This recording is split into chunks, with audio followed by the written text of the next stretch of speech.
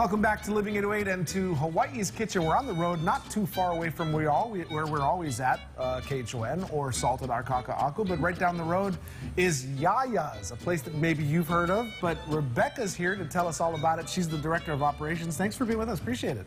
Thanks for coming by. Uh, a nice vibe. When you walk in, good colors, uh, nice bar, big area. Tell us about Yaya's. Well, I'm glad you approve. um, Yaya's is a locally owned chop house, um, made, created, designed for the locals. It's a place you can come as you are, um, shopping at the area boutiques, after a long day's work, for pauhana at our bar, uh, dressed up for a special occasion. We welcome everyone. What makes this place, in your opinion, what makes it so unique? Yaya's is most unique because of our menu, because of the focus of the prime, great cuts of steak. We have multiple dry aged steaks, um, very flavorful, nice beefy, juicy flavor, especially our ribeye that we're gonna offer to you today. It's bone in, 28 days dry aged, delicious.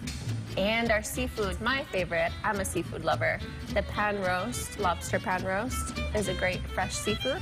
We offer some local seafood items, um, our fresh catch. We offer a great salmon, a wild caught salmon. So when we were going down the list of Mona's restaurants, I saw Yaya's and I saw ribeyes, tomahawks. I saw the seafood and I said, yes.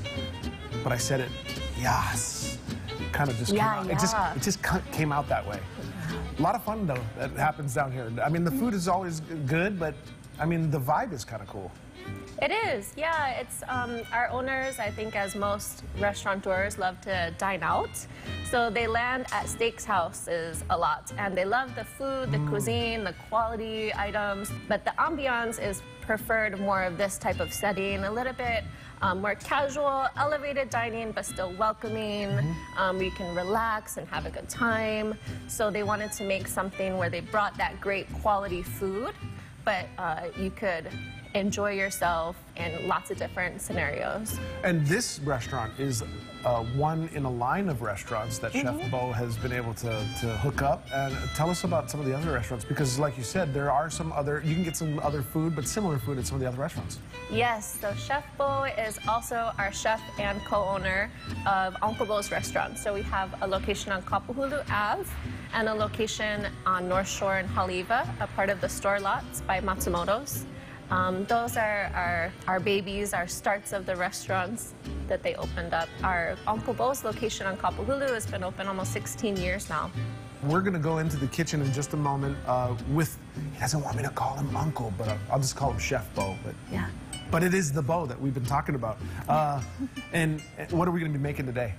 We're gonna make his spin on our A5 Wagyu. It's Yaya Yakiniku. Um, Yes. Also, uh, my favorite, are lobster pan roast to have that great fresh uh, seafood. And he's also going to make a side dish for us. So when I see you again, Mm-hmm. we'll have some food out in front of us. But first, uh, we're going to take a quick break from here. We'll back to the studio. And uh, when we come back here, we'll be in the kitchen with Uncle Chef Bo. Thanks, Beck. Appreciate it. Giving him a little rib there. He didn't want me to call him Uncle. We're, I don't even know what his age is, but uh, uh, but it's gonna be fun. I'm just look at the look at the meat. The cuts of meat are just ridiculous, and then they're putting in this oven with 1100 degrees. Um, so we're gonna be back in the kitchen, uh, and I'm excited Yeah, and, and excited to meet Bo.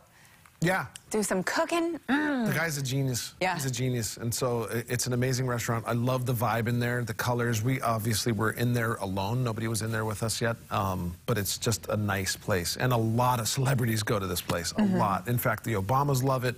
Bieber was just there not long ago. So it is a cool place. And they got a little side room that uh, they can close off for you if you Ah, want. very nice. So when Kelly comes down and visits, we'll put her in the celebrity room. Uh, close let's off not. From her entourage. I'm more of a bar seating type of gal. Well, the bar, did you see how beautiful the bar I was? know, It's so exactly. nice. It's like, man. And they got everything that you could possibly want there, so.